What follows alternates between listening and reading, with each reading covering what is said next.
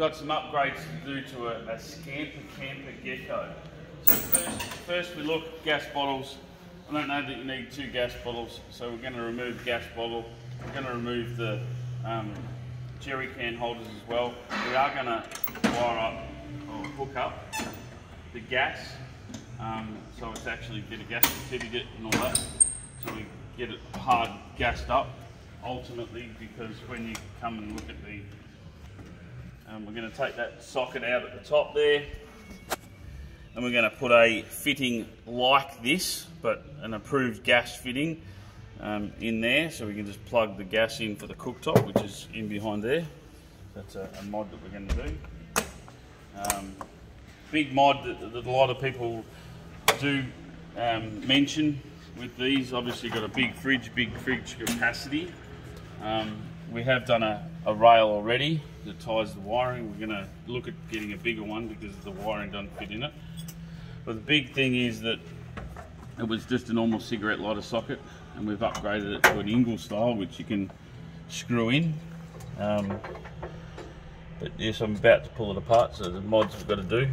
The big mod with these is the wiring to the fridge is very very small so in underneath this box, which we're going to remove, is um, very, very small wires. Now the big difference, this fridge freezer combo um, from SnoMaster, it basically maximum their rating is maximum 5 amps thereabouts. Now we've measured the wiring at the plug um, inside off the switch we've had all this unit apart. And we measured it like look at the wiring. We've actually up done some upgrades to the wires here already. The wires there were very very small like about that size. Um, so we've upgraded from that to that. As you can see the massive difference there. Um, ultimately we've only got a 50 amp breaker there so we've just got to take that into consideration when we're loading up. Now this is the wire to the fridge and it's running all that way, if we measure the amp resistance on that when the fridge is running, it's nearly 8 amps.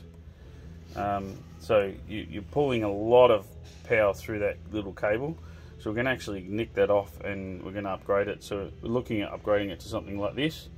I know it's a bit of overkill, but at the end of the day, um, if you've got that being loaded up, um, the fridge is pulling 5 amps and that's pulling 4.5 amps off the battery um, but that's pulling 7 amps out of the switch. So we know that the voltage drop here, so from here to the fridge is massive. So we're going to upgrade that um, in our further. We're going to get rid of these two batteries and we'll be chucking in a 280 amp lithium battery pack um, that we manufacture and obviously DC to DC charger as well um, and we're going to put a external um, power socket on the side of the van so we can plug that into mains power if we need and also solar panel upgrade as well. So stay tuned, more to come.